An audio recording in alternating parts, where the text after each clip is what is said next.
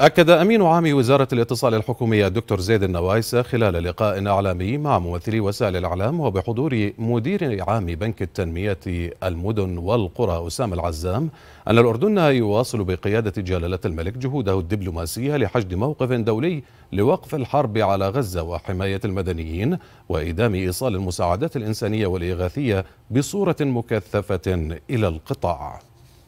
على صعيد استمرار الجهد والدعم الإغاثي الذي آه، تقوم به القوات المسلحة الأردنية. أمس كان هناك ثلاث إنزالات جوية آه، لمساعدة الأهل في قطاع غزة. آه، كانت في مواقع في جنوب قطاع غزة واشتملت الإنزالات على مساعدات إغاثية وإنسانية.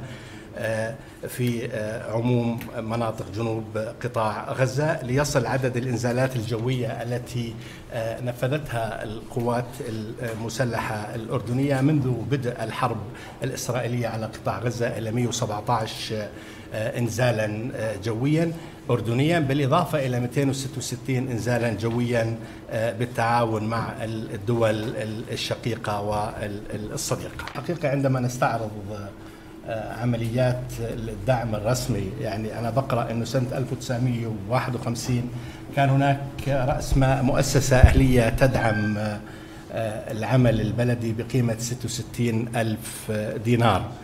في 79 عندما تم تأسيس بنك المدن والقرى كان هناك رأس مال ب 5 مليون و800 ألف دينار. وأشرت عطوفتك في مقدمتك.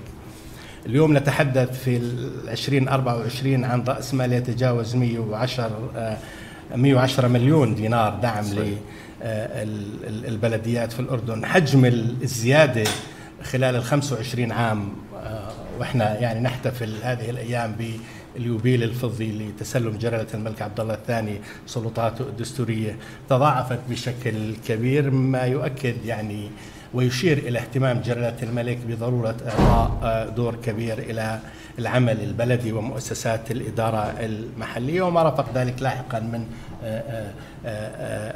اللامركزية أو مجالس اللامركزية في المحافظات.